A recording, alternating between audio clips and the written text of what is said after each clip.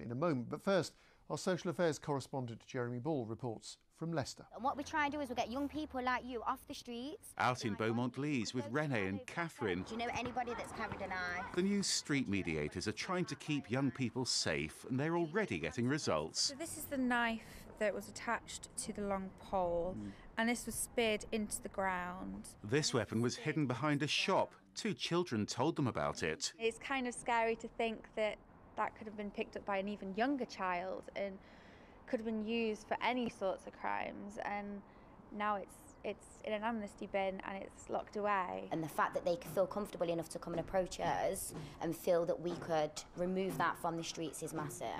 They're worried because Leicestershire now has one of England's highest recorded knife crime rates.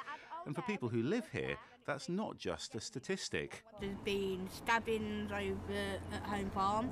Um, there's been stabbings down on Strasbourg Drive, down the bottom.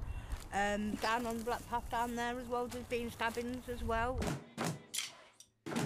So, could this be part of the solution? The street mediators are trying to prevent trouble by offering children activities here at the E2 Community Centre. This is one of 13 projects receiving grants from a new violence reduction network. It's been set up by Leicestershire's Police Commissioner with money from the Home Office. This project's taken several hundred young people off the streets in the last few months. It's all about building relationships and building trust so that the young people who come here really listen to this message. It is a real big issue at the moment. Part of our daily routine with the young people is we have to do metal searches because we just can't put these young people at risk. I have worked with a young person in the past um, and he did get stabbed with his own knife in the top of his thigh. And here in St Matthews, near the city centre, there was a fatal stabbing last year. Now, 20 mums have been given another grant from the Violence Reduction Network.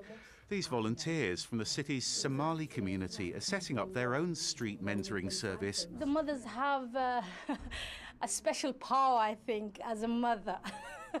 they might tend to listen. It takes a village to raise a child, so we need the whole Leicestershire together to tackle this issue as a community, as a one community. It's trying to prevent violence from happening in the first place. Um, when it does occur, it's about intervening as early as possible to try and prevent it from escalating. But it's also about when violence becomes more entrenched, making sure that we've got a variety of different responses to that so we can prevent it from occurring again. It's all about breaking a vicious circle by offering children hope. Jeremy Ball, BBC East Midlands Today, Leicester.